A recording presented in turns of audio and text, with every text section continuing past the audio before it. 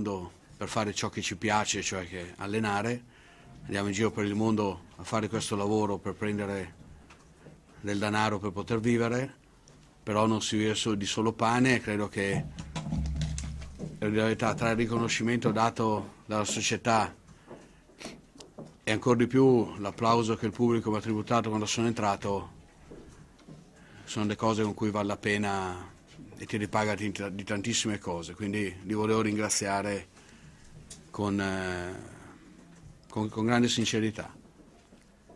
La seconda cosa, è chiaro che sono molto contento per i due punti, però sono molto contento di più per come ha reagito la mia squadra. Io all'intervallo ero, ero molto arrabbiato con loro perché abbiamo fatto una partita secondo me migliore, buona nei primi 20 minuti rispetto ad Avellino e dovevamo andare a riposo con 8-10 eh, punti di margine di vantaggio e siamo andati a riposo di due.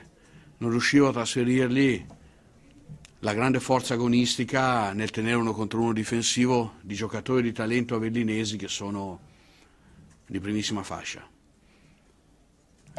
Ho rimediato con della zona, prima con della mecia, poi con della zona invece normale per bloccare questo flusso di energia e di talento di Avellino.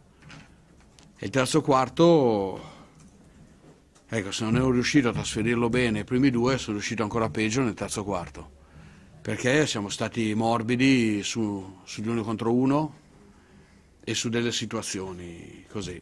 Però poi, soprattutto, qui correggetemi, forse, forse sbaglio, credo su meno 8, credo, o 7 o 8, abbiamo fatto le nostre migliori difese, siamo andati in attacco sempre da chi volevamo andare.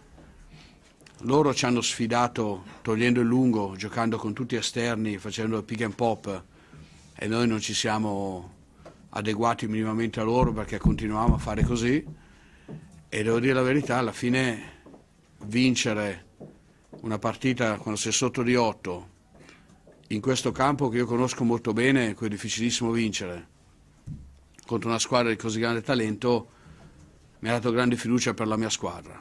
Eh, ho detto a loro sin dall'inizio che non volevo sentire una parola sul lungo che ci manca come alibi perché noi dovevamo venire qua e venire qua per poter vincere.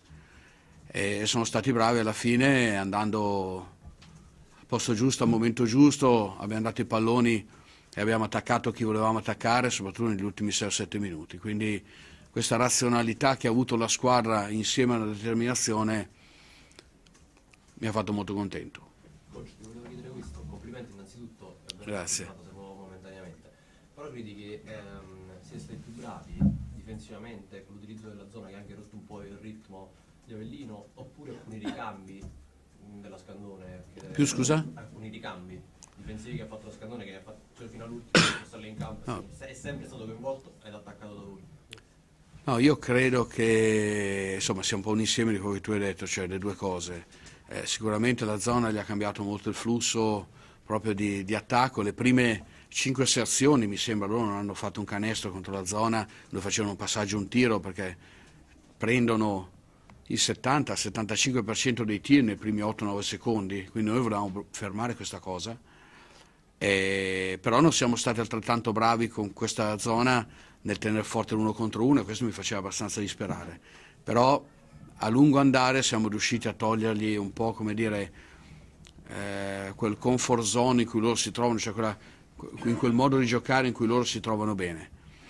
E, e sui cambi difensivi sono stato molto bravi ad attaccarli, anche se a un certo punto eravamo cinque falli, noi, noi, loro avevano solo un fallo, quindi eh, abbiamo insistito ad attaccare su questi cambi per poter prendere dei falli per poter avere qualche situazione di vantaggio. Altre domande? Sì, Pino, allora, innanzitutto complimenti.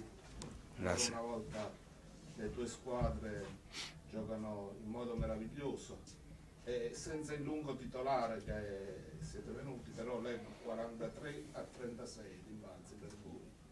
Quindi il segreto del successo oltre alla tua bravura nel bloccare, soprattutto negli ultimi 6-7 minuti, eh, eh, la Scandone sta anche qua, non credi? Io credo che siano due, due punti fondamentali. Uno, questa, questo discorso dei rimbalzi. Loro hanno a locale Grimm che scappa prima il contropiede ancora prima di andare a prendere il rimbalzo perché è, con, è, convinto che lo prenderanno loro. Noi siamo andati molto aggressivi contro di lui, non siamo adeguati rincorrendo, siamo andati in rimbalzo d'attacco contro lui e contro altri due o tre giocatori che preferiscono già guardare il campo aperto.